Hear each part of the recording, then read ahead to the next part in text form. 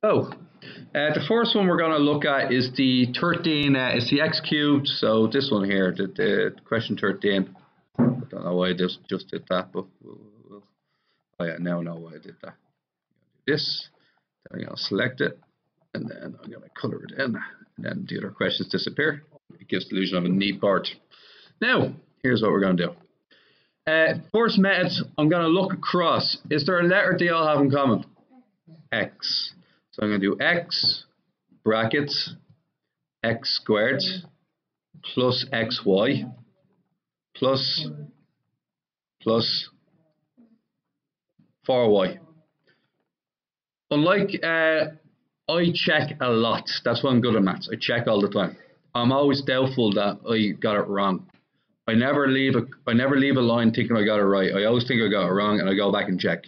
x times x squared, x cubed x times xy, x squared y, x times 4x, 4x squared, x times 4y, 4xy. Now I'm certain I got it right, or at least 99.9% certain. I go again. I go, okay, if I multiply it back out, it turns back into the first line. I'm not going to do that. Now I'm going to target the blue zone. Any ideas what to do with that blue zone? Yes?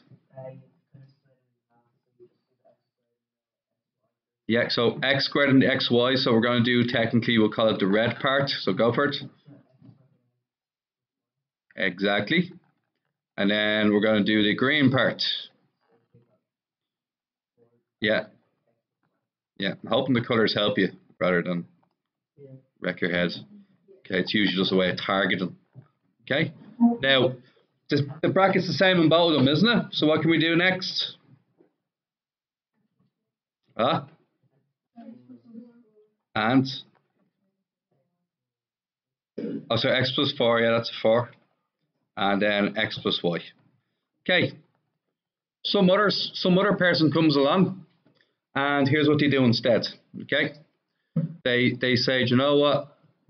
I, am not going to do it that way. I'm just going to go right in. I'm just going to get stuck right in. How many x's can you take out the first two? We'll call it the purple zone. How many x's can you take out of the two of them? X squared. What's left over x plus uh, y. Yeah. And then we're going to enter the uh, the red zone here. What's that then? 4x into. And then this person who hasn't made a single mistake gets an answer like this. No bother. Now he isn't going to get full marks for that. Why will he not be entitled to full marks? Yes, sir which bracket can you take the stuff out of? Take you can take an X out of that, can't you? And there there's both answers done the same way. Both answers, sorry, two different ways, same answer. Any questions on that one? No. Alright guys. So uh this one here what I'd say the first thing we can do is we can take out, is there a letter that's in everything? P. Is there a number that will divide into all the numbers? 2. 2p. So what's going to be left over here? 2bq. After that? Minus 5r, yeah. Minus 5q. And then here? Plus 2 PR. Now guys, what I know is here is that, uh, like, like what you were saying last time, see the brackets here? The brackets is essentially a big box, and this is boxed off from the 2P. Essentially, I'm boxing that section off, and I'm going to work on it. Okay? That's what I'm going to do. Now, I'm noticing that it's not in order, so what, what are we going to do? We always agree we, we never change the first one, don't we? Which one looks most similar to that? The 2PR looks the most similar.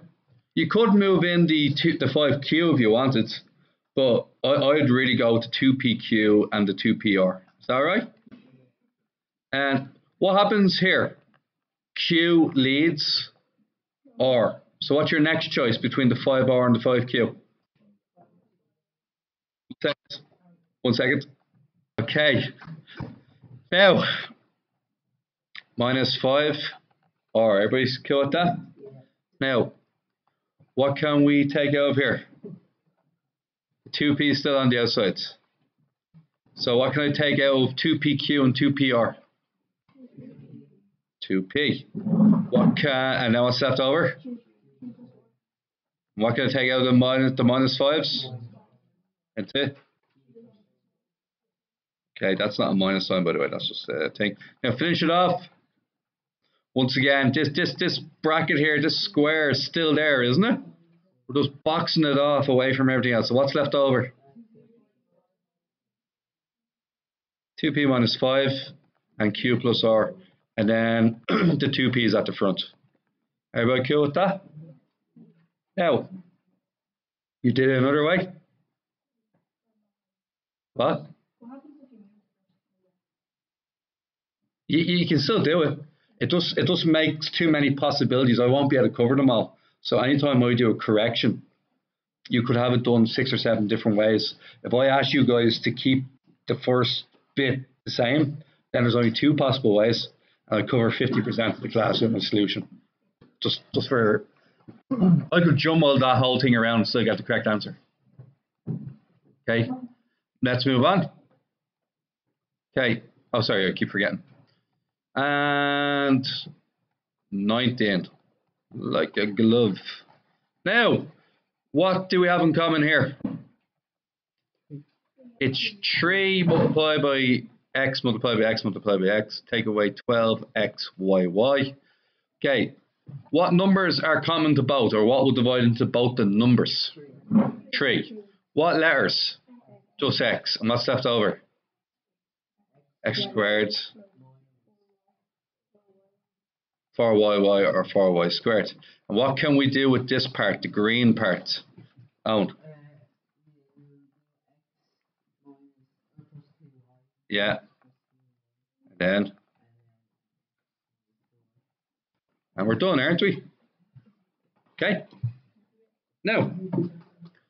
Yes, Rory. Relax. Now. Thanks for asking. Now. Uh, this one here, guys. yeah. Take out 2a and we get 25 uh, a squared minus and b squared. And look, we're in business now, aren't we? okay. Uh, 2a into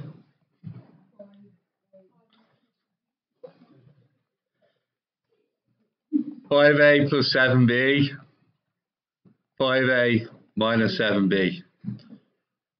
Everybody cool with that? Uh, guys, next one. Uh, 21. So, uh, what can you take out 21, lads? Yes, sir. 2a. Now what's left over? 3x minus. Now, guys, this blue part here it's what we did two or three exercises ago.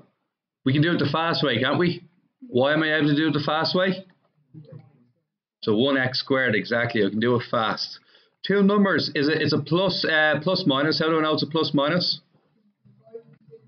Ends a minus, and the middle is plus. Somebody told me to use 5 and 2. Plus 5 and a minus 2. Okay with you guys? Okay. Now,